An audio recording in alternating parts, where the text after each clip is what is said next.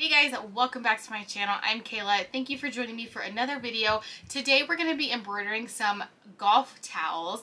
I will insert a picture right here um, and I'm sure you already saw from the thumbnail.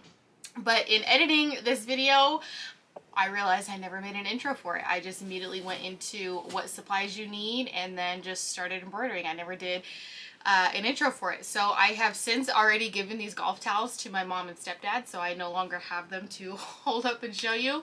Um, so I'm just gonna insert a picture and then uh, and then go from there. But before we get into the video, I wanted to tell you guys about a new thing that I launched on my channel, which is channel memberships. Um, you might have seen it in one of my last videos that said eight sublimation designs for a, for under $10. There are two different tiers that you could choose from. So if you are interested, hit that join button down below and see if either of those tiers interest you. I just opened up voting for the month of August for the set for that. So if you do become a member, you will be able to see that post in my community tab. You can't see it right now unless you're a member. And it has, I think our options this month are back to school, fall, outdoors slash camping. And I don't remember which other one. uh, it might have been just other and then put your suggestion in the comments. So if you want access to those exclusive PNG images that you can sell in your own Etsy shop, then consider becoming a member of my channel. They are um, a surprise and they get released the first of every single month. So like I said, the voting for the month of August just opened up and they will be released August 1st via email. So go ahead and check that out if you're interested.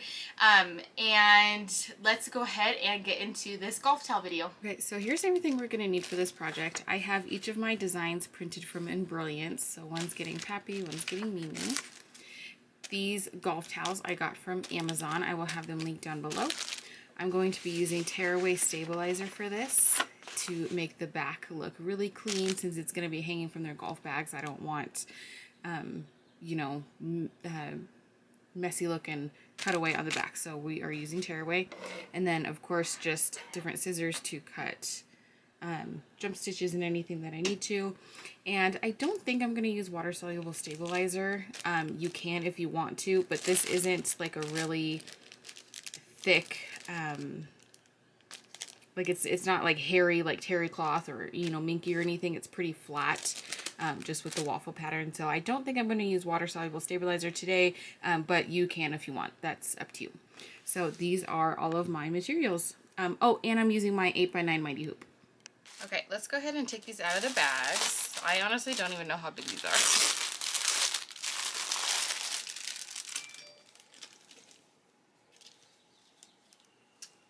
So there's um, a rivet through all three folded layers. So I'm just going to take this carabiner off so that we can open it up all the way.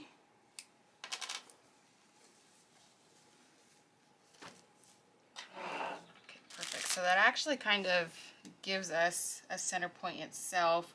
Um, I'm immediately noticing that this bottom seam is crooked. Um, but the good part about this is it's just going to be hanging off of a golf bag. So it doesn't even have to be like super, super perfect. I know that sounds, uh, you know, a lot of people want it absolutely perfect. And don't get me wrong, I do too. But it's going to be hanging, so you're not going to be able to tell if it's just a little bit crooked. So I am just going to center it between the two folds. And honestly, just kind of eyeball where I place it. You guys know I consider myself a professional eyeballer. So I'm going to pin that in place.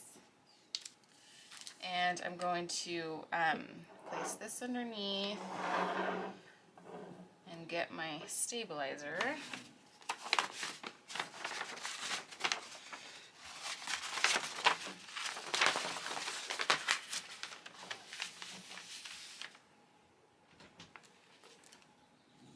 Okay, so I have my stabilizer underneath and I'm just going to center my design in the hoop. Move it around if I need to. Okay, I think, I think that's pretty centered.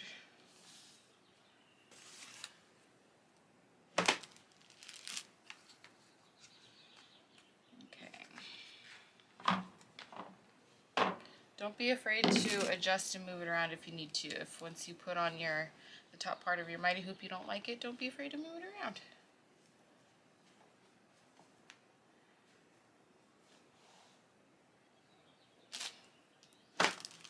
And adjust as needed. I'm pretty happy with where that's at, so I'm going to pull this a little tighter underneath.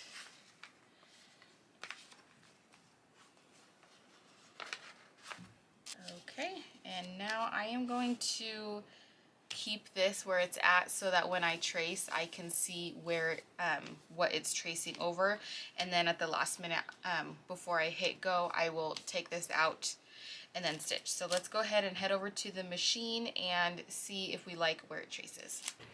Okay, so I have my threads all set, so now I'm going to trace.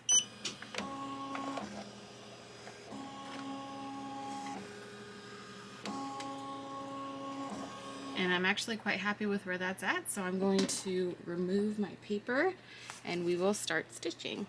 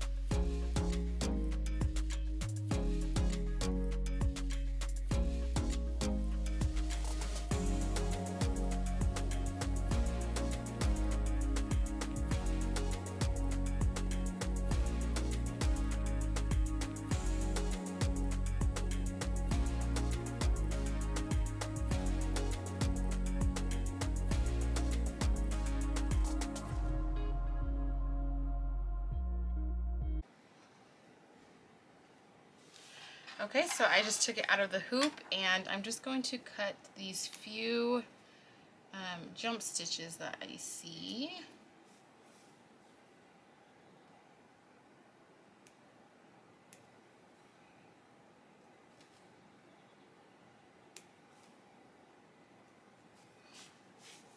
Okay, I think that's it. Now we're going to turn it over and just tear Actually, let me get these first.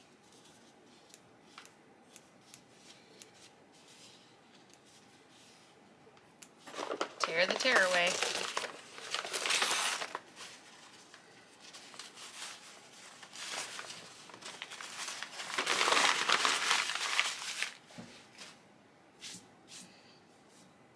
So there we are. It looks much cleaner than if we would have used cutaway because obviously we would still have a big square. So this is going to hang much better from her bag. So super clean. So let me fold it over and show you what it looks like from the front. Super, super cute. So now let's go ahead and get this other one hooped and ready to go and then I will show you both of them up close.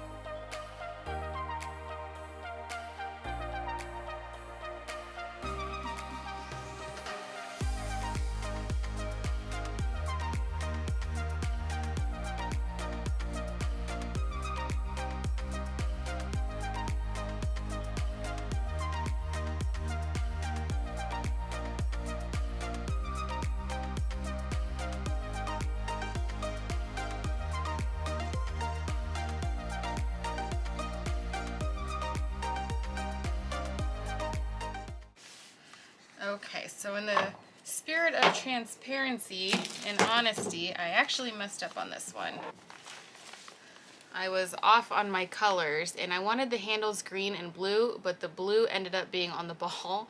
So the silver and blue got mixed up because his name was supposed to be in blue and the shadow on the ball was supposed to be uh, in silver and the ball was supposed to be white, but now the clubs are white and the whole thing's just, just backwards. But I think all in all, it still looks really good. So I'm just gonna go with it. So, so we are going to clean up the back.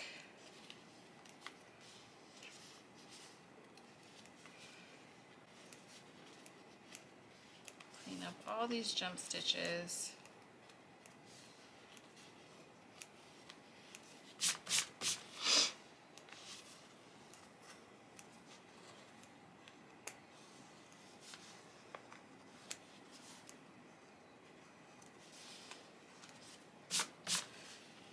Okay. And we're gonna tear our tear away.